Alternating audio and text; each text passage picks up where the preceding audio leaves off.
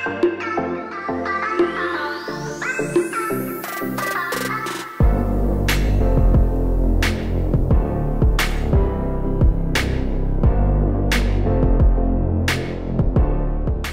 привіт! Як завжди, ми вчимо в цьому влозі жестову мову та все, що з нею пов'язано. Мене звати Анастасія Саморокова. І сьогодні я розповім, що в людей з порушенням слуху існують жестові імена. Власне, жест, жестове ім'я ми показуємо таким чином. І кажемо прозвище або кличка. Жестове ім'я, але правильно казати жестове ім'я. Якби ми дактилювали, це було б дуже довго. Тому і вигадали, тому і існують такі жестові ім'я.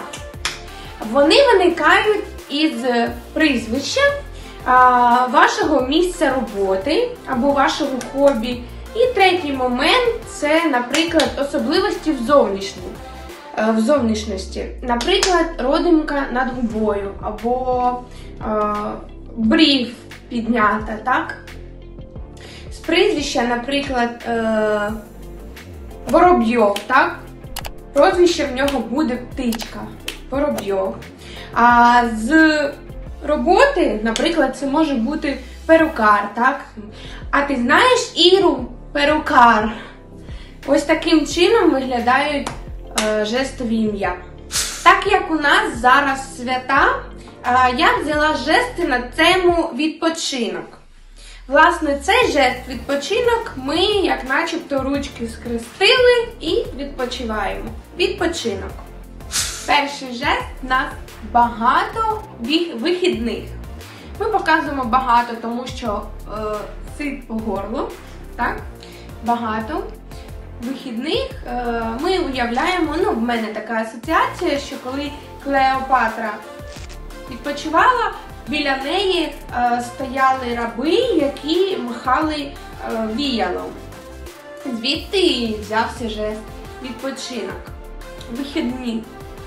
Другий жест це шашлик. Ми уявляємо, що це шампура і тут м'язко. Шашлик. Третій жест це мангал. Знову ж таки уявляємо, що перед нами стоїть на ніжках мангал. Четвертий жест це решітка гриль. Ми знову ж таки бачимо та уявляємо образ в голові, що це решітка, якою ми користуємося. Решітка гриль. І останній п'ятий жест сьогодні це танці. Тому що як відпочивати та без танців? Ніяк танці, тому що рухаємося ніжками. Танці. Сьогодні влог добіг кінця, а я вам бажаю чудових свят та гарного відпочинку.